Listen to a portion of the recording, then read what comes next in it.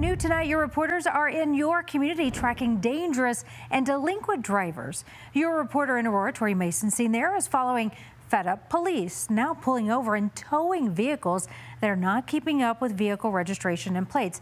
First, though, let's get to Adams County and your reporter Gabriela Vidal, who is following a push to reduce accidents and excessive speeding.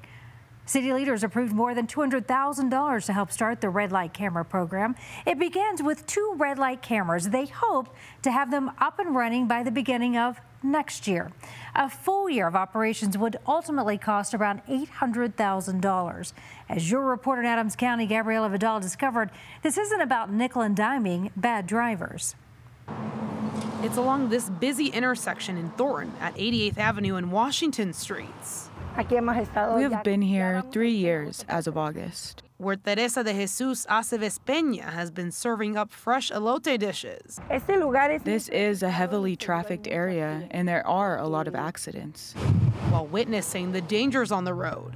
Lots, lots. Part of it, quite frankly, is just people's driving behavior. Um, since 2020, they have, in some ways, lost their minds out there on the roads and are just not really paying attention or, or heeding the things that need to happen. Paul Hawkins is with the Thornton Police Department.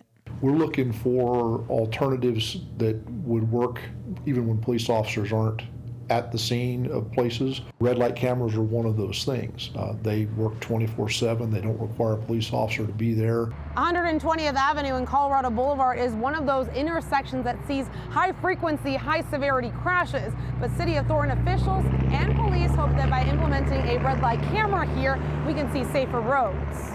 Hawkins says they're in the process of getting bids from different companies to lease a red light camera here and a second red light camera at 80th in Washington for the next three years, with the help of city funding and fines collected from the cameras. We don't expect to make a ton of revenue. Quite honestly, I'll be happy if we break even on the thing. Hawkins says he hopes the cameras will change people's behaviors on these roads based on statistics from other cities who've implemented them.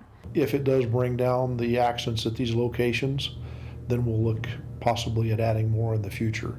And giving the right of way for Thornton residents like Teresa to feel safe on and off the road. At the end of the day, it's something that's for the safety of everyone. In Thornton, Gabriela Vidal covering Colorado First.